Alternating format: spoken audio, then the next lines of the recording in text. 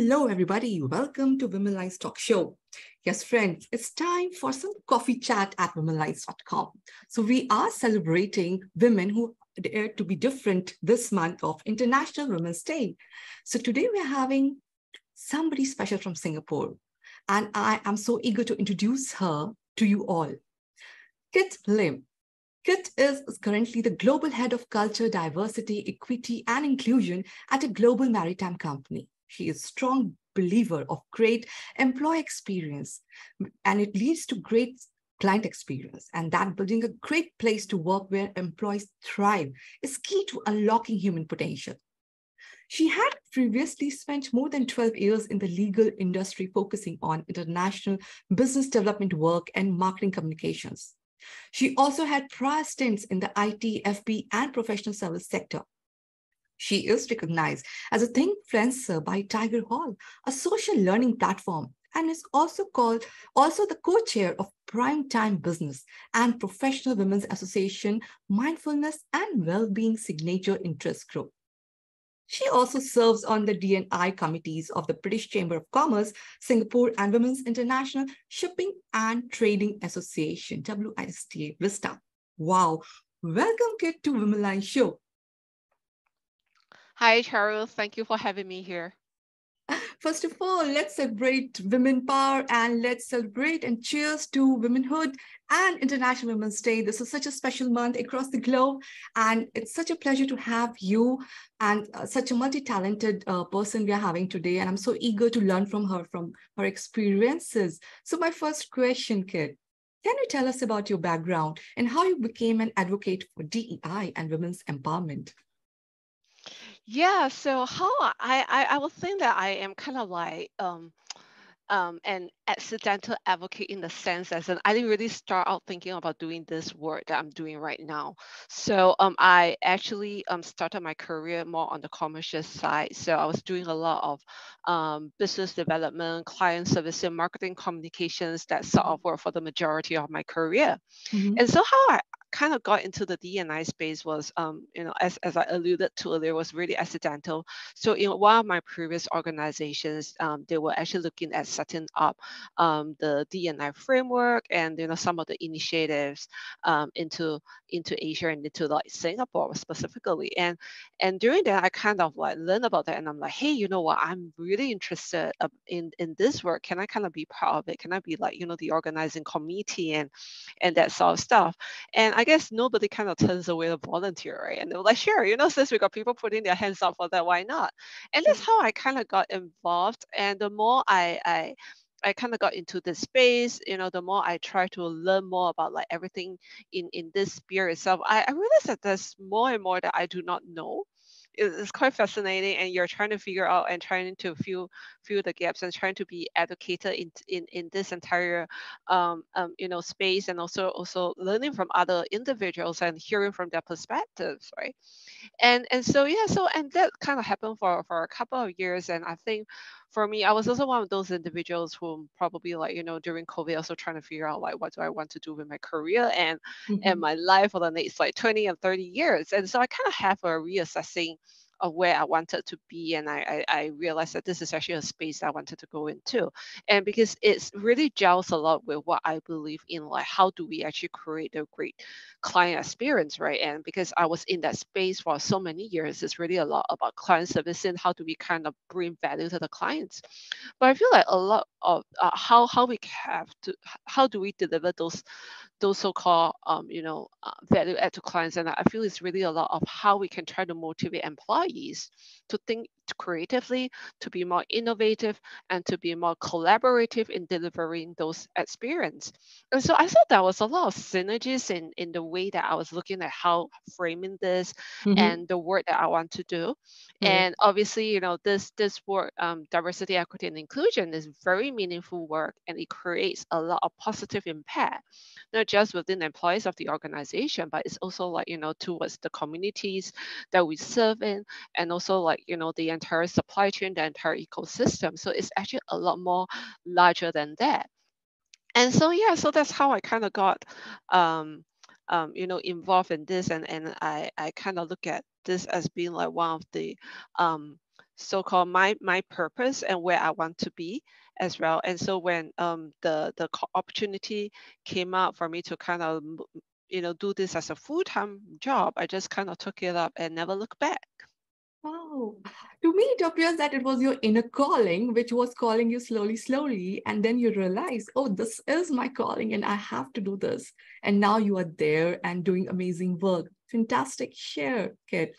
So, how do you think uh, DEI, this diversity, equity, and inclusive initiatives and women's empowerment efforts can benefit organizations and society as a whole? What's your thought process? Yeah, I think definitely. So, I mean, like, I, I think there has been sufficient research out there to show why, you know, we should be embracing DEI. And I guess, especially for corporates, there's a lot of papers that's already been published by top leading consulting firms like, you know, Boston Consulting Group, McKinsey, to kind of showcase why and and having those statistics to back it up. So I think, you know, the why we should be embracing that is kind of like one of those um, awareness and education that people kind of already get it. But you know, to your point, so what should organizations do, right, to kind of make more tangible differences? And I think it's really ultimately down to how we kind of frame this thing.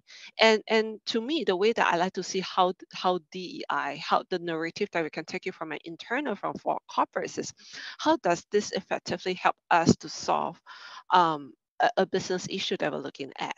And and and I think in a lot of conversations that we have we are seeing and especially more in terms of the gender equality and the gender equity fronts how do we promote more women? How do we hire more women? How do we try to make sure that you know in Definitely. the time pipeline does yeah exactly right? But i think fundamentally and and and it's really like what are we trying to solve out that it's really kind of looking at how we can actually um, acknowledge that you know talent is you know talent competition is a real thing right? And so the way that we're looking from from the dei lenses is really looking at how we can actually expand the scope of the talent that we're looking at. And for instance in the in the maritime industry where i'm in right now um, is traditionally a pretty much more male dominated industry.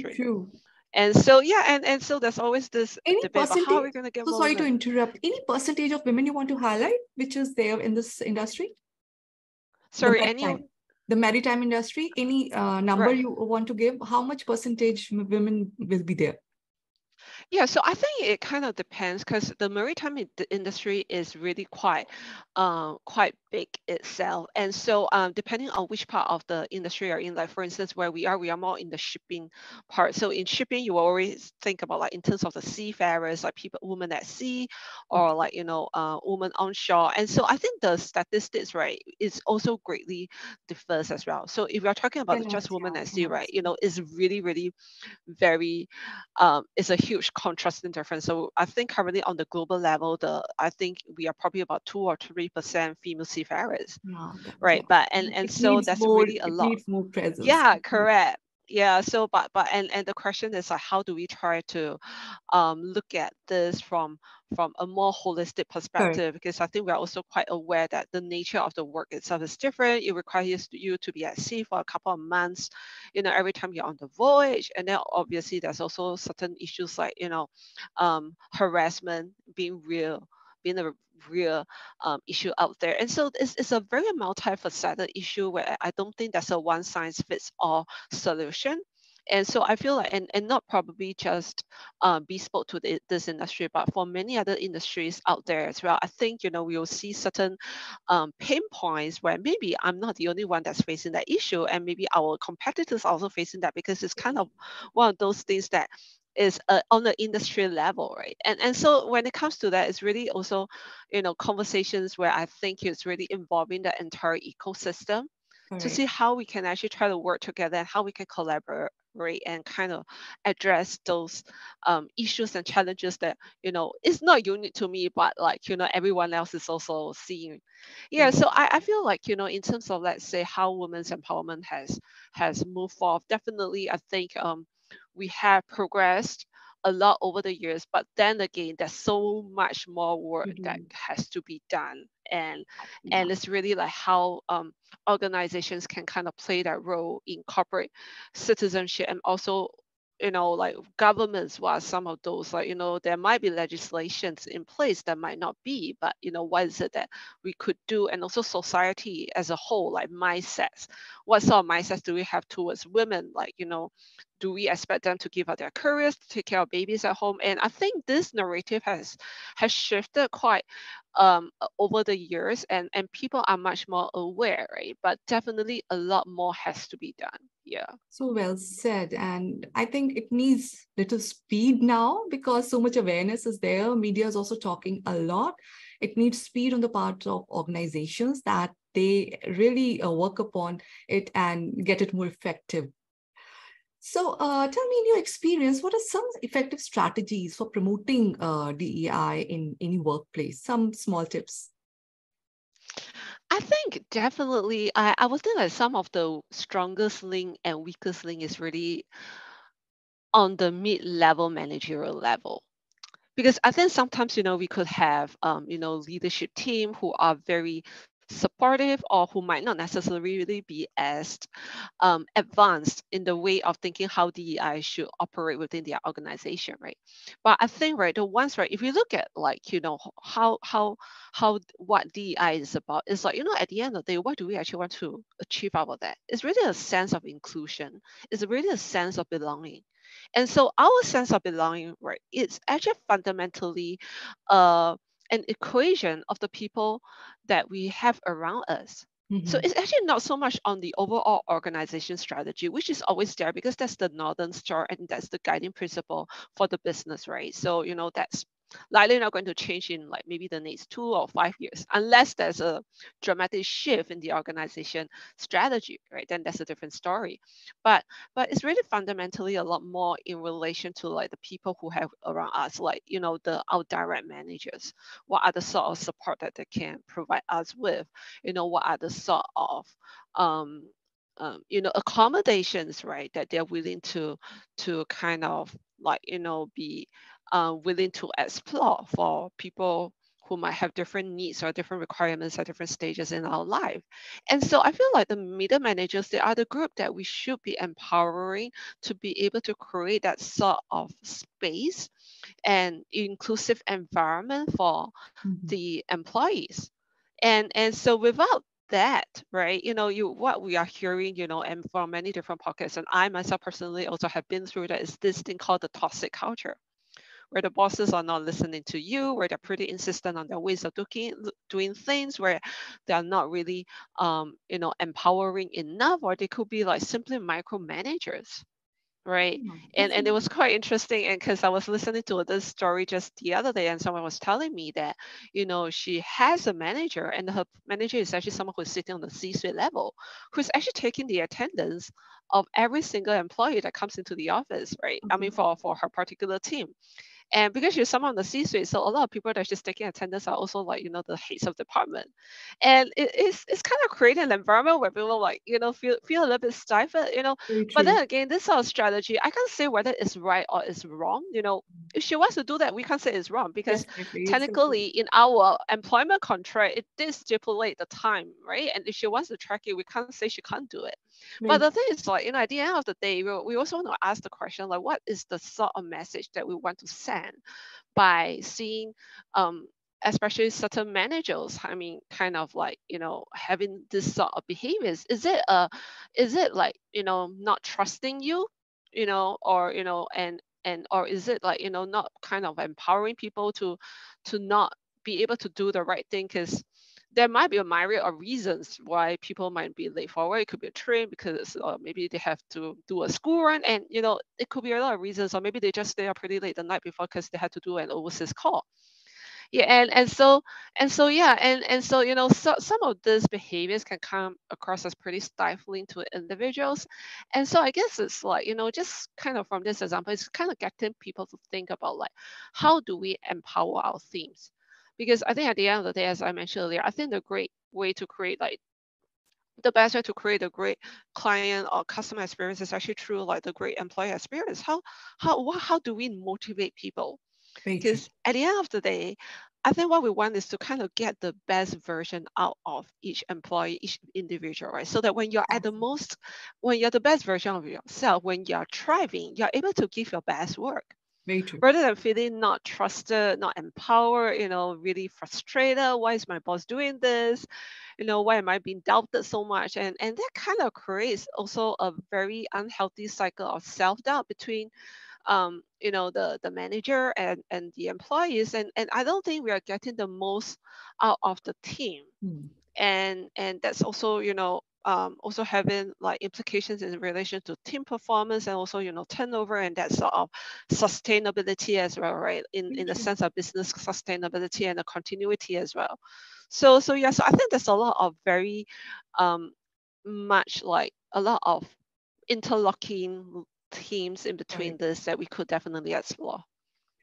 Oh, I can connect so many dots because it's so true. And as you mentioned, I love that part that, uh, yeah, if the team is working together and everybody is thinking of how to give that atmosphere, that opportunity, so that everybody is performing their best, I'm sure organizations will thrive in such a way and nobody can stop them.